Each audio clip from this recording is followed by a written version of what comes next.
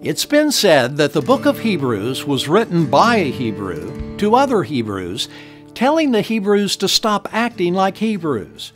And there's a lot of truth to that. But as we begin reading this important New Testament letter today, let's look at it from a much more practical standpoint.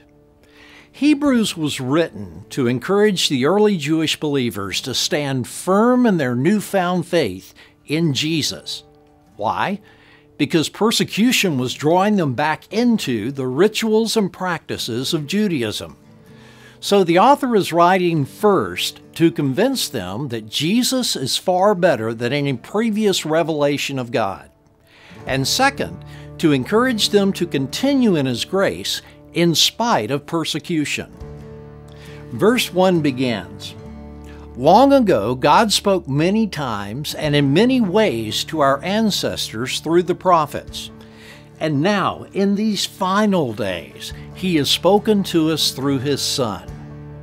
The writer of Hebrews begins by establishing the superiority of Christ in both who He is and the work that He's done.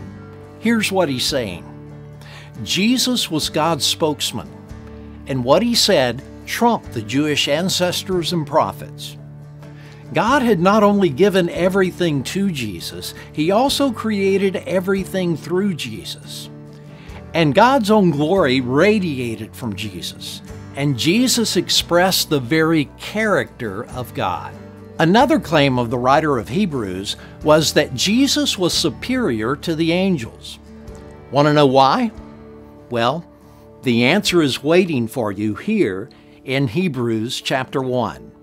So I hope you'll open up God's Word today and read along with us.